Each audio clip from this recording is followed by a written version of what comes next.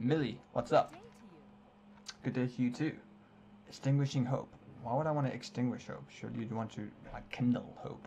There still might be hope for that land. Lady, Millie, let me give it to you straight. Your only hope is in Jesus Christ, the Messiah, who died for sinners, on the third day rose from the grave, proving he has strength over death, and he calls all those who hear his voice to follow him so that they may live too and be reconciled to God. Boom! That's what I'd say if I was in the World of Warcraft to this lady. Get out of this lady's field. I'll help you, sir. It's a Christian thing to do. Now, I can't use Hearthstones because Hearthstones are magic, and they're, um, so I'm gonna throw that away. Though the land is completely incinerated and there is nothing left of the vineyard but ash and debris, I still might be able to recover, right? How bad can it be? It's pretty bad, to be honest. I was there, it's covered with orcs, load of fires. You know, you need to put your hope in Jesus Christ. Alright, cool. Give me a cloak. Thank you.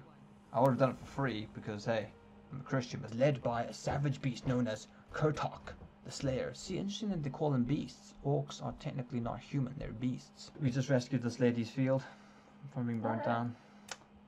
Now we're killing Kurtok the Beast. He is responsible for the recent invasion and must be killed if we are to have peace in the valley. Ready? I think you only get peace through the King of Peace.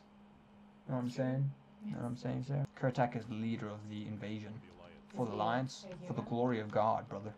Warlock. I spit on you. No, that wouldn't be Christian. It isn't. I gotta love them. Slash love. Love your enemies. There we go. I love my enemies. I love you, dirty warlock. Get you cleansed if you repent and believe the gospel. The directions he gave you, like way back when, is that what you had to go off Yeah, to yeah. find? You actually had to read the quest, and you had to go on this website called Thottbot, and you basically did this. You Googled it. you googled it, yeah. This guy's running in slow motion. Because I'm snowing it with my slow shot. I'm pretty sure that's the focus.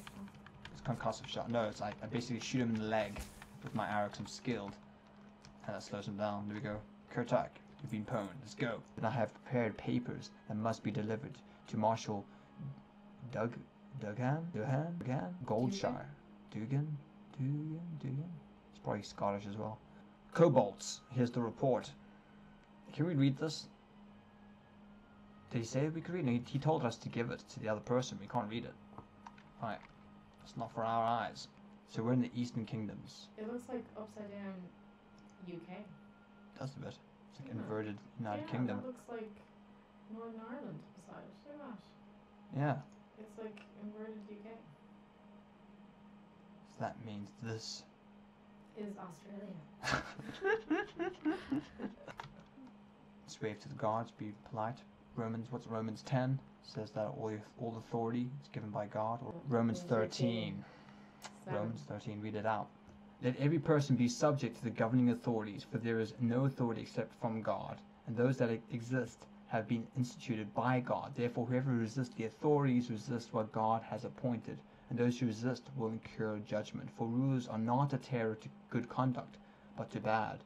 Would you have no fear of the one who is in authority? Then do what is good, and you will receive his approval, for he is God's servant for your good. And if you do wrong, be afraid, for he does not bear the sword in vain. There we go. This is relevant because we're dealing with, you know, the state here. Okay, I'll do that in the morning because it's late and I need to get some rest. So I'm gonna go to the inn. How rude! Standing on, standing on the banister there. I'm gonna eat their small pumpkin while drinking some spring, refreshing spring water. Hmm. I could do some. Okay, then we're going to leave it there, guys. Hope you found that interesting. Make sure to leave a comment telling us if we should continue this or if you'd like to see a different game, us playing from a Christian perspective. Ideally, what we've already bought.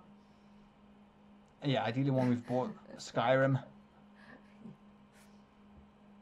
Make sure to like, share, and subscribe. Really appreciate that. It's been a blast. Hope you enjoyed this. God bless you.